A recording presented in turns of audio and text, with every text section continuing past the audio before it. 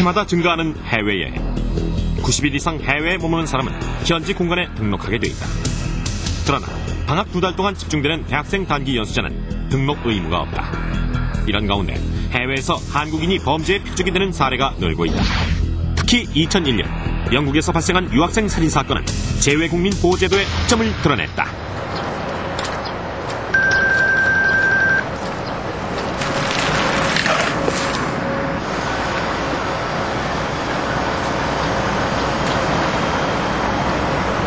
It's still there. What is it?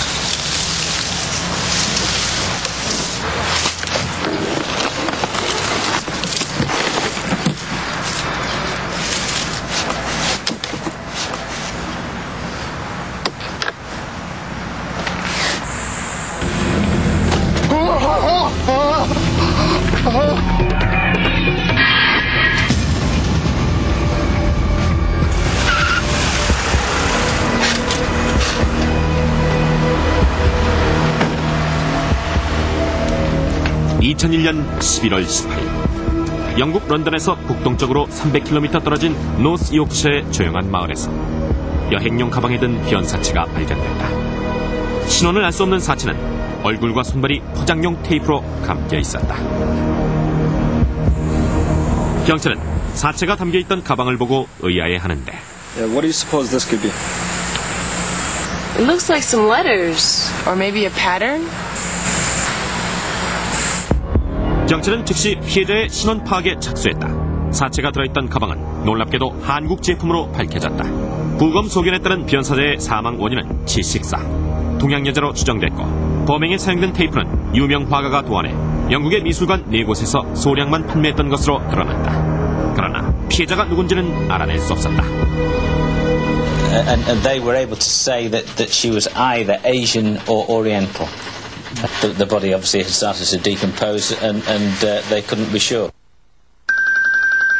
현장에서 멀지 않은 곳에서 사건을 관심 있게 지켜보는 한국인이 있었다. Detective Chief Inspector Alan Anker said initial 한창성. 경찰청 소속으로 영국에서 유학 중이던 그는 사체가 들어있던 여행 가방에서 한글 상표를 보자마자 한국인이 관련된 사건이라고 직감하고 한인 인터넷 사이트에 실종자와 가방에 대한 제보를 당부하는 글을 올린다. 피해자 신원도 밝혀지지 않아 수사가 제자리 걸음을 하고 있을 즈음 경찰에 뜻밖의 목격자가 나타나는데 Absolutely positive he is the murderer. He's your man. Leroy, calm down and tell us about it slowly. Okay, okay. That morning about 4 a.m., I left home for a business trip. I was on my way towards the highway, and there it was a gray car along the side of the road. Who on earth parks a car in the middle of the road? 다음 순간 목격자는 사체 발견 현장에서 한 남자를 봤다고 진술했다. I heard that a bag containing the body was found in the vicinity. Roy, do you remember what he looked like? Oh, he was a white male, about 30 years old, and he had very, very short hair, and uh, he was also wearing black. 검은색 옷을 입고 장갑을 낀 낯선 백인 남자. 목격자의 제보로 수사는 활기를 띈다. 경찰은 사체 발견 현장 근처 주민들을 상대로 목격자가 봤다는 백인 용의자에 대해 탐문 수사를 벌이는 한편 동일수법 전과자들을 조사하지만 아무런 소득을 얻지 못한다. 그렇게 한 달이 지날 무렵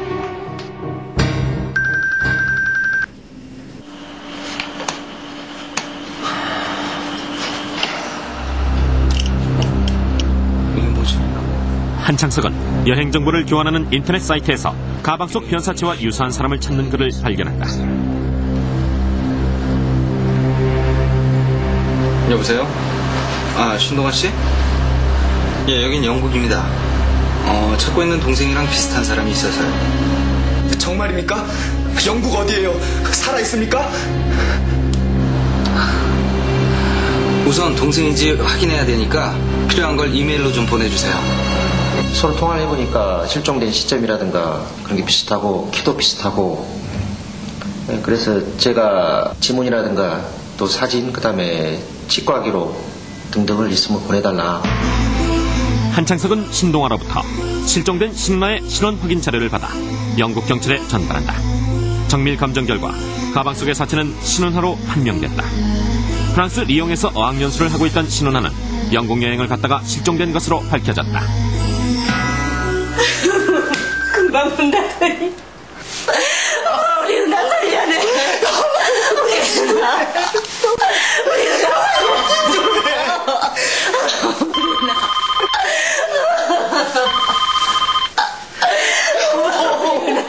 여보세요? 예, 한 선생이요. 동생이 마지막으로 연락한 게 언제예요? 10월 26일 친구한테 이메일을 보냈어요. 그리고요. 며칠 있다 어머니가 은하가 묵었던 런던의 민박집 준이랑 통화하셨는데 은하가 친구들이랑 유럽 여행 간다길래 역까지 데려다 줬다고 하더라고요. 유럽 여행이요? 네. 실종 전후 신원화의 행적이 드러나면서 경찰 수사는 급물살을 탄다. 피해자가 한국인 유학생이란 사실이 공개되면서 또 한 건의 한국인 유학생 실종 사건이 알려지는데 최수입니다. 제가 아는 분 딸인데 작년 12월 7일 이후 연락이 안 돼요. When was the last time you saw her? 음, 만난 게 아니라 전화 통화만 했는데 어, 수희야? 어, 지금 어디야? 여기 런던 브릿지예요. 민박집 오빠랑 점심 먹고 산책하고 왔어요. 그게 마지막이었습니다. A friend from the lodging house? 아하, 수인의 민박집 주인이에요. 그리고 살해된 신우나가 묵었던 민박집도 그 사람이 하는 거예요. 한 달 간격으로 일어난 두 사건은 뜻밖에도 몇 가지 공통점이 있었다. 이상하다. 두 군데가 전부 다, 네? 둘다 사람들은 신용카드 돈이 떨어진다. 너무 닮은 거였지. 경찰 조사 결과 추수인은 아르바이트를 하러 나간 뒤 연락이 끊겼으며 실종 직후 두 사람 모두 신용카드에서 돈이 인출된 것으로 밝혀졌다.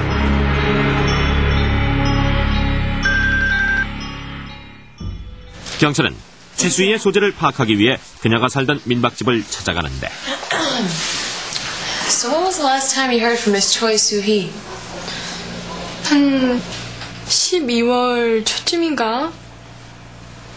한국 갔다 왔더니 안 보이더라고요. I hear that Mr. Kim Sang-jun, the owner of the place, is actually quite a nice man. 상준 오빠요? 그럼요. 어, 수희야. 어디 갔다 오는 거야? 상준 오빠는 금속공예 공부하러 영국에 왔대요. 뭐 항상 웃고 사람들한테 참 잘했어요. 또 처음 온 유학생들한테는 뭐 여기 생활이 필요한 것도 가르쳐주고 꼭 친오빠 같았다니까요. I heard he went on a trip. Do you know where I can contact him? 전 모르고. 아, 오빠 여자친구는 연락처를 알 수도 있겠네요. 헤어졌어요. So you don't talk to him anymore? 안 해요.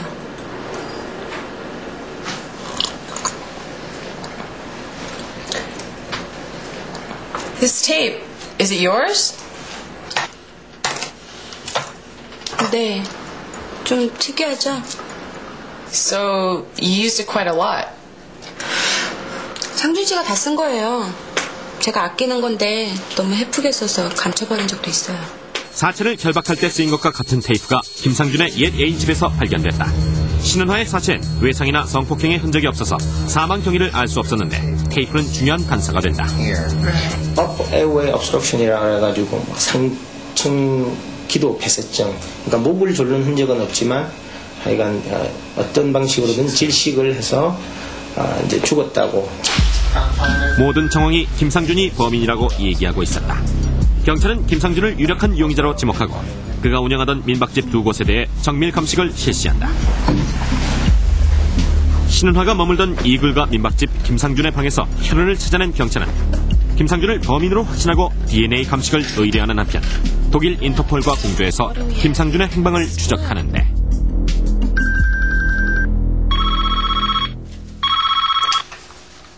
네. 김 선생님?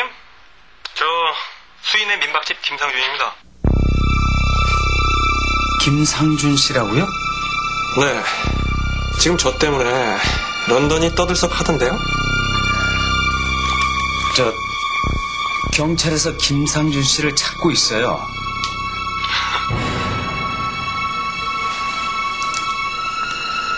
목격자가 본 사람은 백인이라는데 왜 날 찾죠? 네, 그러게 말해요. 그 빨리 김상준 씨가 와서 해명하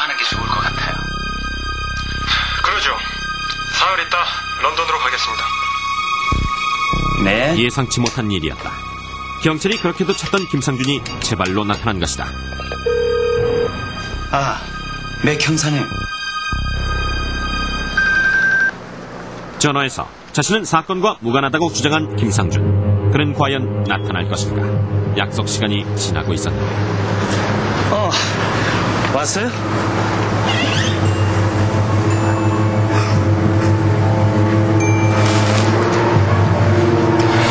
신호나 다 뭐, 이거 왜 이래요? We'll talk about this down at the station.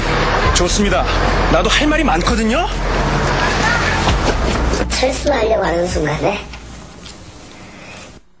지등을 툭툭 치면서 나 여기 있어 이러는 거예요. 뭐 그러더라고요. 이럴 줄 알았어요. 경찰 데리고 올 줄. Mr. Kim, you killed Miss Shannon, why didn't you? 난 안 죽였습니다. She was found dead after last seen at one of your lodging houses. 그걸 제가 어떻게 알아요? 신은아는 우리 집에 온 지 이틀 만에 프랑스로 갔다고요. Okay, then where is Miss Choi Soo-hee? 예?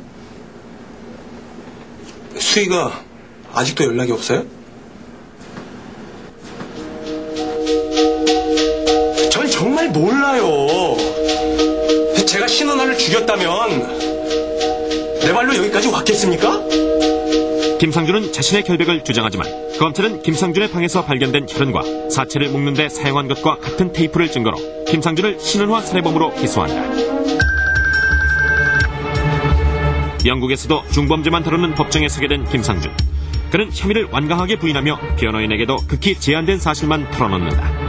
변호인 입장에서는 아주 힘겨운 싸움이 예상되는 가운데 재판이 시작된다. 검찰 측, 용고 왔어요.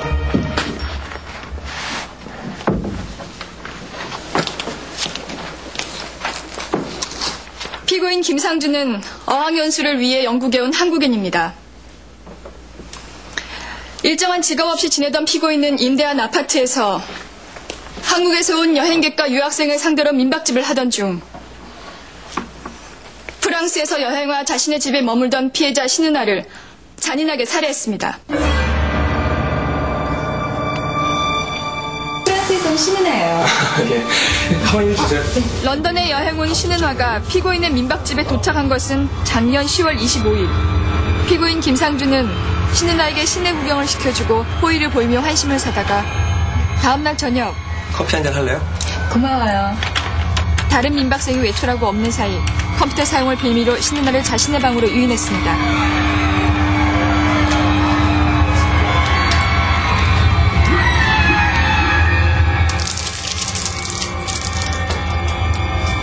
신은아가 컴퓨터에 정신을 쏟고 있는 사이 김상준은 미리 준비해둔 포장용 테이프로 신은아의 얼굴을 감아 숨지게 했고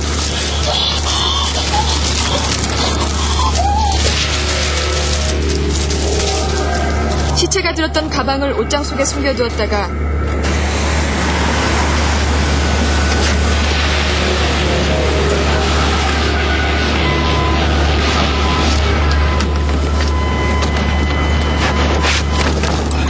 (11월 2일) 렌트한 차량에 가방을 싣고 노스 요크셔의 도로변에 사체를 유기했던 것입니다.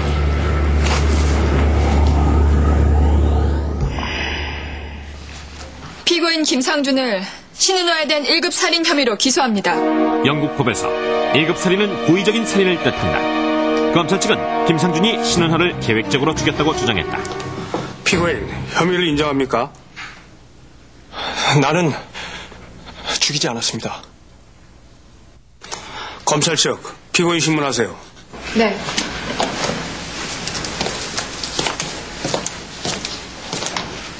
피고인.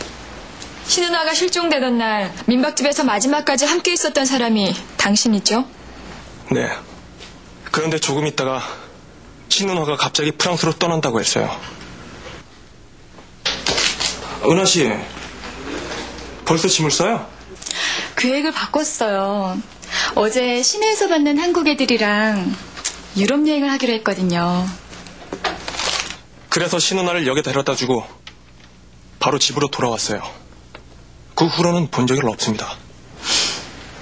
피고인, 거짓말도 앞뒤가 맞고 일관성이 있어야 한다는 걸 모르나요?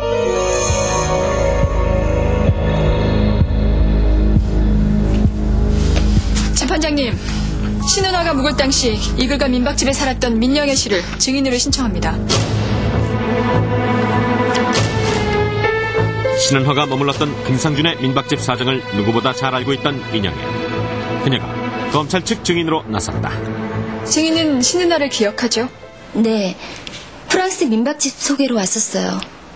신은아 씨를 마지막으로 본 게 언제죠? 10월 26일이요. 파트타임 일을 끝내고 오후 2시쯤 집에 들어갔더니 상준 오빠랑 은화 씨만 있었어요.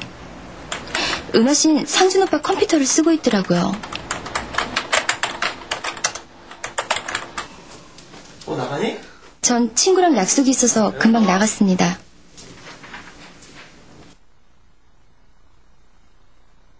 나 왔어. 밤 10시쯤 들어왔는데 은화 씨가 안 보였어요. 그래서 증인은 피고인에게 신은아가 어디 갔는지 물어봤죠? 네. 은하 씨. 어, 파리 가는 티켓으로 나간다고 하더니 당장 출발하는 표가 생겼다면서 간다고 하더라? 개 웃기지 않냐? 유럽 여행 간다는 신은아를 역에 데려다 줬다고 하는데 증인한테는 분명히 프랑스로 갔다고 했나요? 네. 그때 피고인이 좀 이상하다는 걸 못 느꼈나요? 평소랑 다른 건 못 느꼈어요. 근데 집안에서 뭔가 이상한 냄새가 났어요. 무슨 냄새요?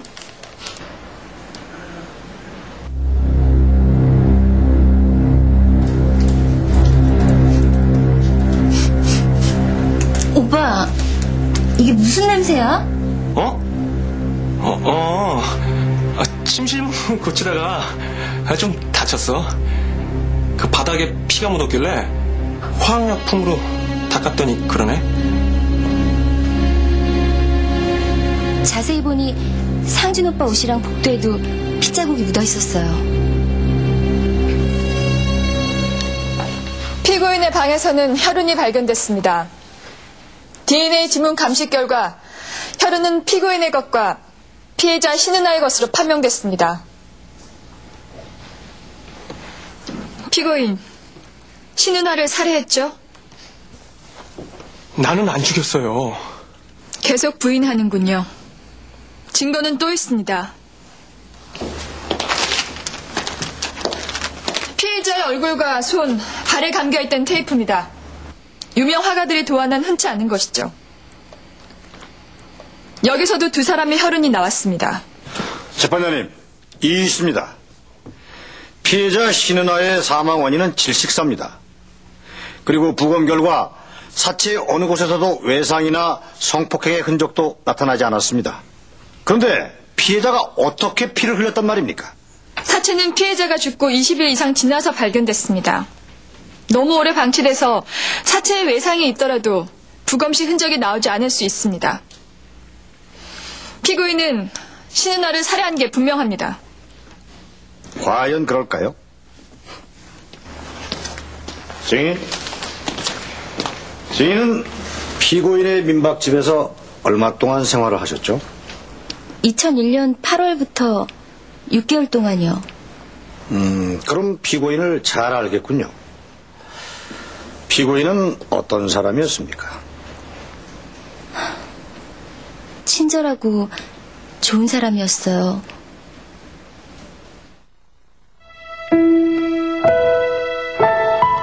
오빠는 모든 사람들한테 친절했어요. 신사답고 늘 웃는 얼굴로 사람들을 대했고요. 특히 저희 같은 유학생들한텐 정말로 잘해줬어요. 그래서 오빠가 민박생을 구한다고 할 땐 마음 놓고 들어갔습니다. 사람들도 다 오빠를 좋아했는데 그런 오빠가 그런 무서운 짓을 저질렀다는 게 믿겨지지가 않아요. 검거되기 전에도 피고인은 여행 중이었습니다. 그러나 자신의 민박집에 묵은 유학생이 실종이 되자 걱정이 된 나머지 여행을 포기하고 돌아와서 경찰에 자진 출두를 했습니다. 피고인이 범인이라면 과연 그럴 수 있었을까요? 그리고 무엇보다도 피고인은 피해자를 살해할 아무런 이유가 없습니다. 그렇지 않습니다. 피고인은 돈을 노리고 피해자를 살해했고 그 증거도 있습니다.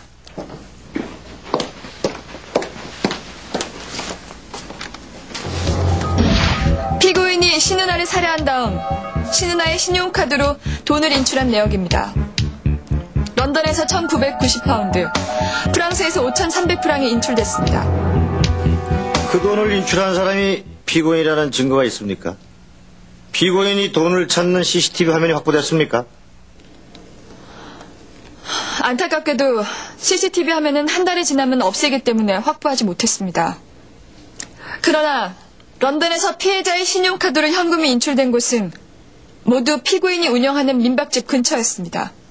그렇다면 파리에서 돈이 인출된 기록은 어떻게 된 겁니까? 피고인이 파리까지 가서 돈을 찾았다는 건가요? 검찰 측의 주장은 CCTV 화면이 확보되지 않은 상태에서는 인정을 할 수가 없습니다. 게다가 파리에서 돈이 인출된 11월 2일은 피고인이 사체를 유기하러 갔다고 검찰 측이 주장하는 바로 그날입니다. 다른 감식 결과나 테이프 등 검찰 측이 제시한 유죄의 증거는 김상준이 범인일 수도 있다는 정황을 말해줄 뿐 직접 증거는 되지 못했다. 그런 상황에서 경찰의 추적을 알면서도 제발로 나타난 김상준의 행동이나 사건 무렵 그의 행적은 범인의 행동으로서는 납득할 수 없다는 변호인 측 주장이 설득력을 얻었다. 검찰 측은 고민에 빠질 수밖에 없었는데 뜻밖의 사건이 벌어진다.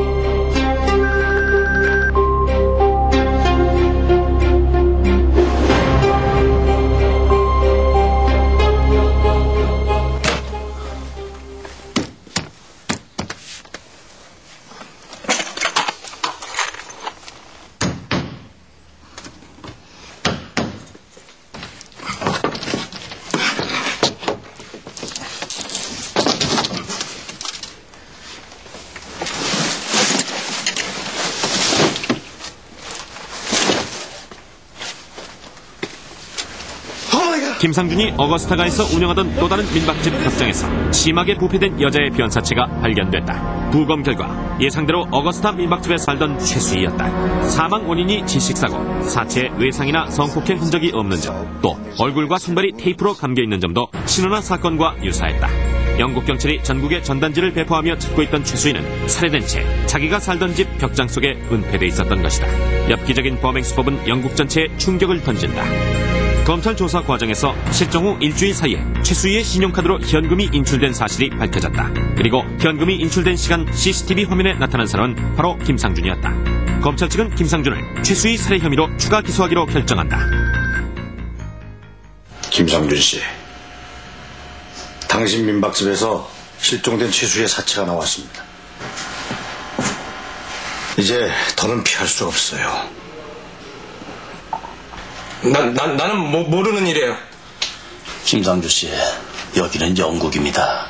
이 무조건 부인하면 오히려 김상주 씨한테 불리합니다. 사실을 털어놓고 도와달라고 하세요. 현지 영사관 직원까지 나서 범행을 자백하도록 설득하자 김상준은 놀라운 사실을 털어놓는데 솔직히 말하겠습니다.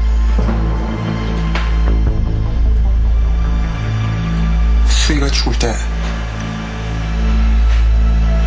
저도 옆에 있었어요.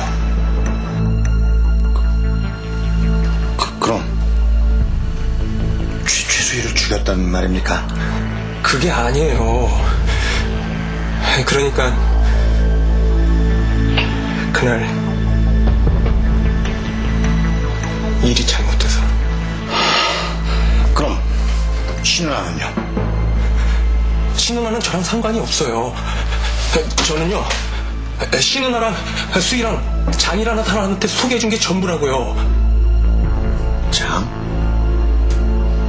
모든 건 장이 알 거예요. 대상이 누굽니까? 김상준의 입에서 나온 새로운 인물. 그는 사건과 어떤 관련이 있을까? 피고인 김상준을 최수위에 된 1급 살인 혐의로 추가 기소합니다.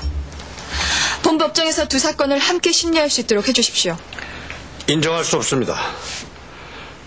피고인이 최수희를 살해했다는 명백한 증거가 없습니다. 피해자 최수희의 사체가 피고인의 민박집에서 발견됐습니다. 그것만큼 확실한 증거가 또 있습니까? 검찰 측은 김상준을 최수희 살인 혐의로 기소하면서 같은 법정에서 병합 심리할 것을 재판부에 요청한다. 검찰 측 요청을 받아들입니다. 검찰 측 농구하세요. 네.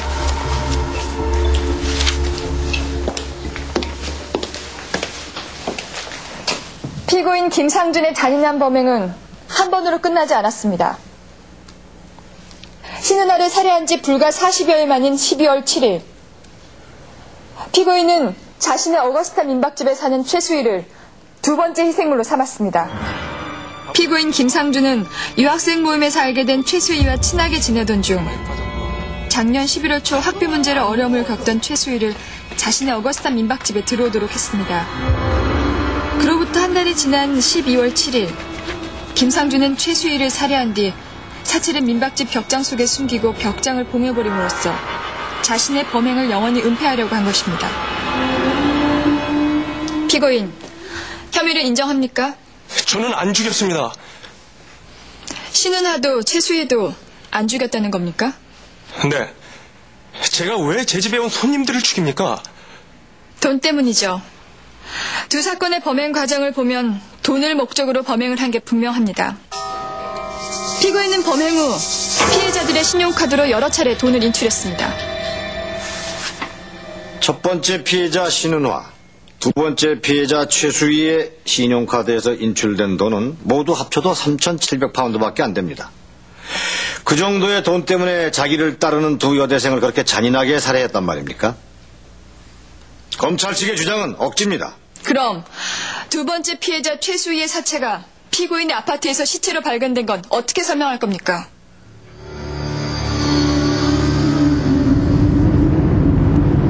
최수희는 피고인이 죽였죠? 대답을 안 하는 건 인정한다는 뜻입니까? 죽이려고 그랬던 건 아닙니다. 검사의 추궁에 김상준은 최수희를 고의로 죽인 게 아니라고 대답했다. 김상준의 진술은 결과적으로 최수희에 대한 2급 살인 혐의를 인정하는 것이었다. 피고인, 그게 무슨 말입니까? 피고인, 어떻게 된 일인지 자세히 얘기해 보세요.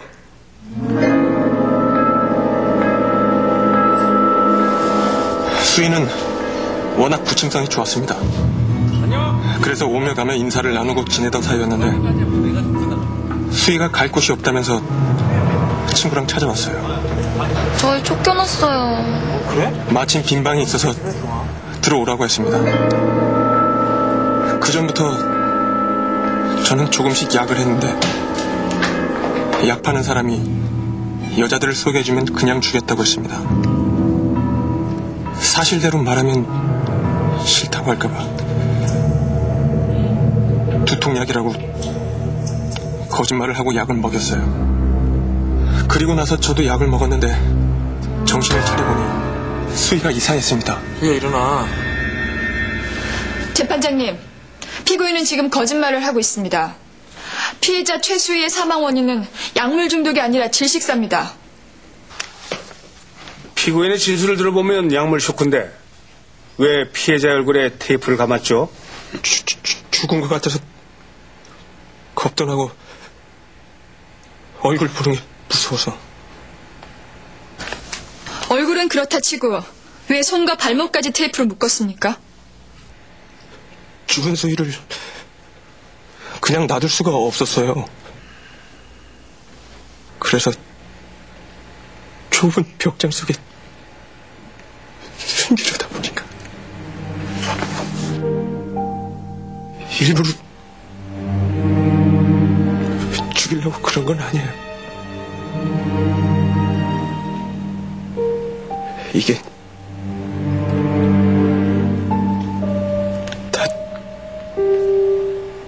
장 때문입니다. 장? 그 사람이 누굽니까?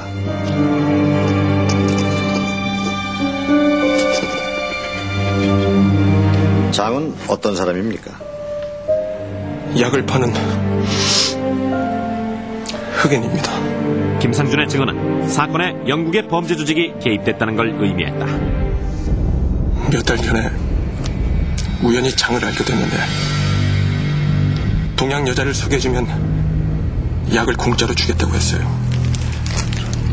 그래서 신누나를 데려왔습니다. 장이 신누나한테도 약을 팔았을 거예요.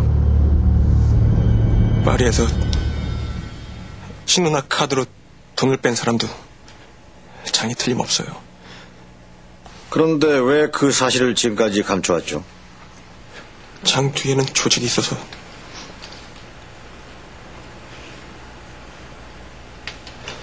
두려웠습니다. 재판장님, 두 사람의 사체에서는 성폭행의 흔적이나 외상이 발견되지 않았습니다.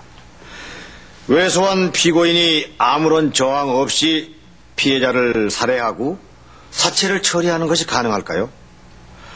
두 사람의 죽음 뒤에는 제3의 범인이 있습니다. 앞서도 말한 바 있지만 두 피해자 모두 사체가 심하게 부패돼 있었습니다.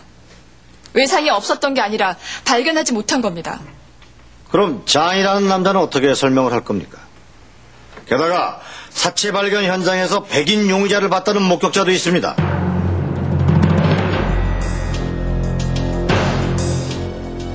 이대로 재판을 계속하기는 어렵습니다. 검찰 측은 보강 수사를 하세요. 재판은 그때 다시 하겠습니다. 야, 이 터죽을 놈아! 넌 우리 딸을 죽여놓고도 그것도 못 알았어! 이 누명한테 시골이야, 이거 놈아! 야, 이 사람아, 이 놈아! 하늘에 어떻게 하냐, 이 놈아!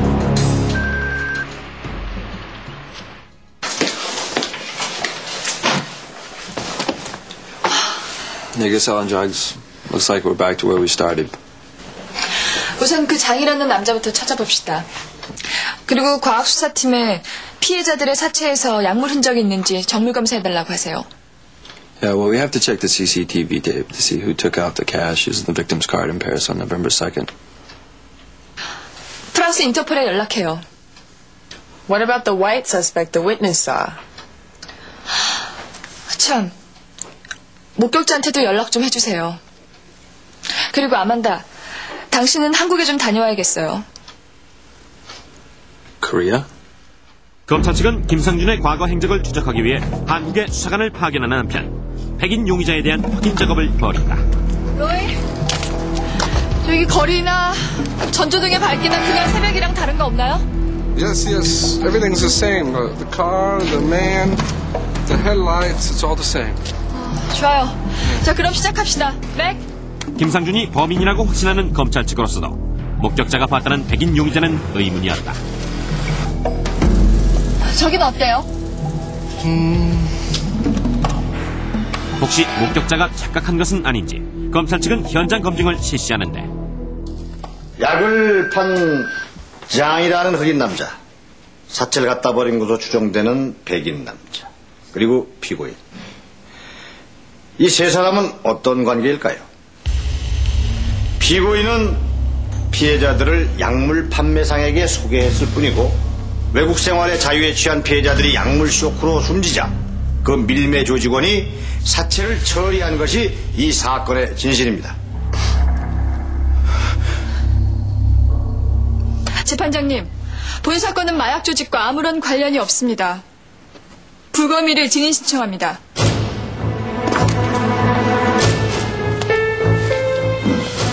피해자들의 사인이 뭡니까? Both victims died of suffocation. 피고인은 피해자들이 약물 때문에 죽은 것처럼 주장하는데 약물이 검출됐습니까?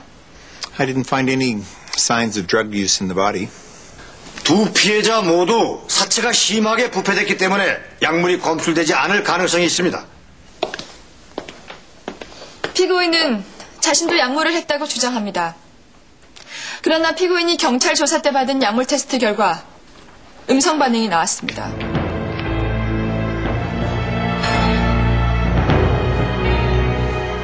오빠가 아까 제일 약한 거였나? 그거를 그러니까 법적으로 그런 거잘 모르는데 그런 거를 한두 번은 해본 적 있대요. 근데 시키는 절대로 할 사람은 아니에요. 언니도 겁 같은 것도 많아서 뭐 하면 항상 나한테 뭐 얘기하고 하거든요. 피해자들이 실종된 후 피고인의 행적을 보면 피고인이 범인이란 것은 의심의 여지가 없습니다.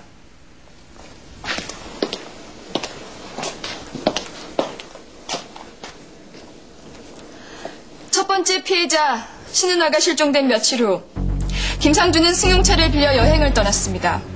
그 시간 통화 기록을 보면 런던 북쪽으로 이동하면서 전화한 걸로 되어 있습니다. 사체 발견 현장 근처 고속도로죠.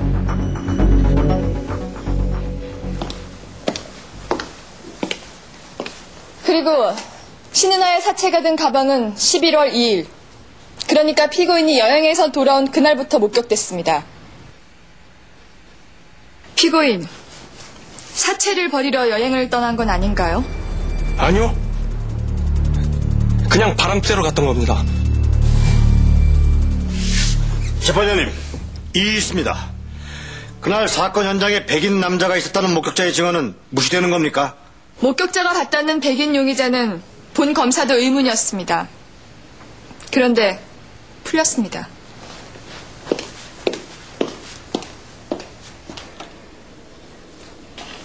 이것은 목격자가 용의자를 봤던 그날 새벽 상황을 재현하고 현장 검증한 화면입니다. 새벽 4시 그 도로에서 자동차 전조등에 비춰봤을 때 백인인지 동양인인지 분명하게 구별하기 어려웠습니다. 따라서 백인 용의자를 봤다는 목격자의 말은 신빙성이 떨어집니다. 오히려 그날 새벽 목격자가 본 사람은 김상준이 분명합니다. 백인인지 동양인인지 구별하기가 힘들다면서 어떻게 피고인이라고 단정을 할 수가 있습니까? 그날 목격자가 봤다는 사람의 옷차림이 두 번째 피해자 최수희의 돈을 인출할 때 CCTV에 찍힌 피고인의 옷차림과 비슷하다고 목격자가 진술한 바 있습니다. 현장 검증으로 김상준이 주장한 제3의 범인은 신빙성이 떨어진다.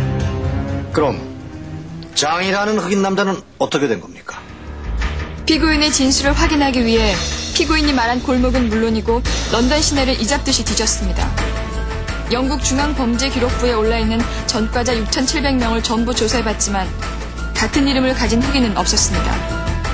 그렇다면은 11월 2일 파리에서 피해자 신은화의 신용카드로 돈을 인출한 사람은 도대체 누구란 말입니까? 김상준이 범인임을 입증하려면 검찰 측은 김상준이 사체를 유기하던 바로 그 시간 파리에서 신은아의 카드를 사용한 사람을 찾아내야 했다. 검찰 측은 프랑스 경찰의 협조를 얻은 끝에 베일에 쌓여있던 현금 인출자를 찾아내는데 성공한다. 그녀는 런던의 한 식당에서 일하는 한국 교포 장성현. 장성현 씨, 김상준과 어떤 관계죠? 그게 검찰 측은 김상준과 장성현의 공모 여부를 추궁한다. 한편 검찰의 수사가 진행되는 동안 김상준은 심경의 변화를 보이는데 아직 범행을 입증할 만한 직접 증거는 없어요.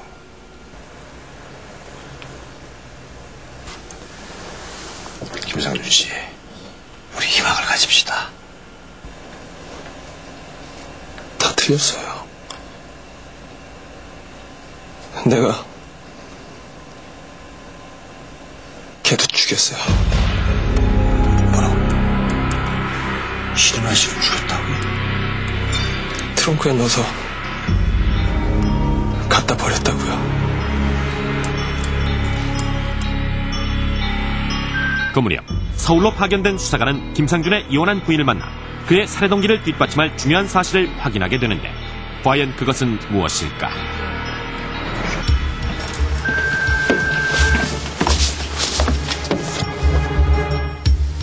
김상준 씨, 신은아 씨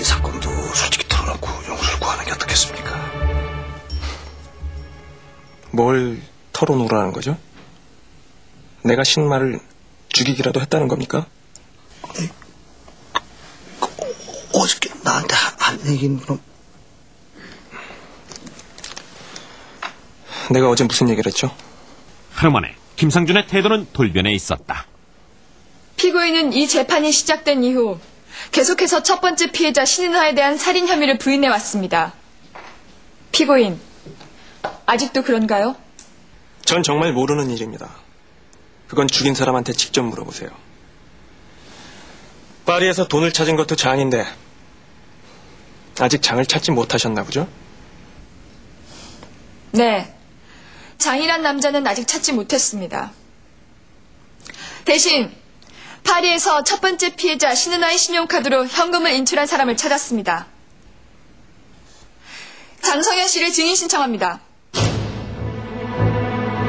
검찰이 그토록 찾아 헤맸던 파리의 현금 인출자 장성현. 그녀는 김상준과 어떤 관계이며 무엇 때문에 범행에 가담하게 됐을까?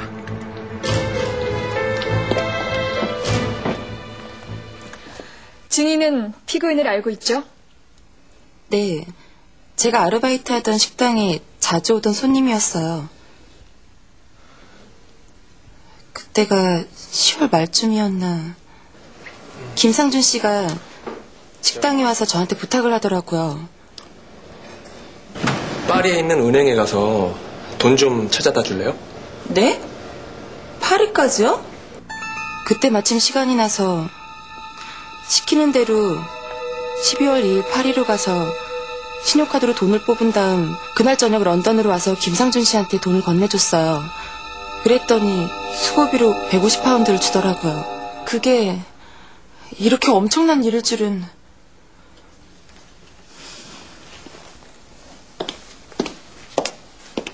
피고인, 어떻게 된 겁니까?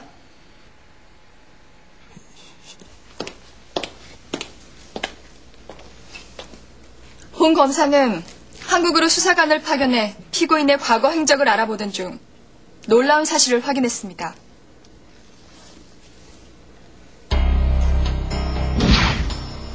이것은 피고인이 한국에 있을 때 범행한 전과 기록입니다.